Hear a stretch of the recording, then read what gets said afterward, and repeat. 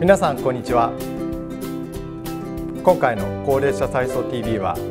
くるぶしタッチというのを行っていきます。今回はですねこちらのキューピーさんのスタジオをお借りして行っていきますのでぜひ楽しんでみてください。では先ほど言ったくるぶしタッチ行っていきたいと思います。皆さん足を触るという動作普段やられてないと思います。でこの足を触るという動作やっていくと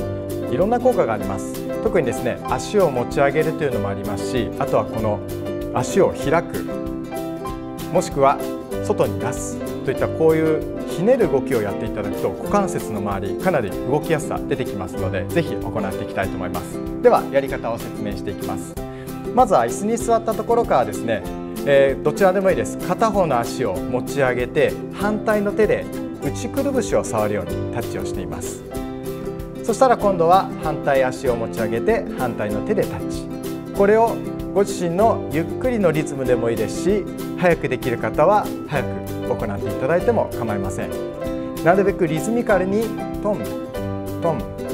トントンという形で行っていくと徐々に股関節のあたりかなり動きやすくなってくるかと思います。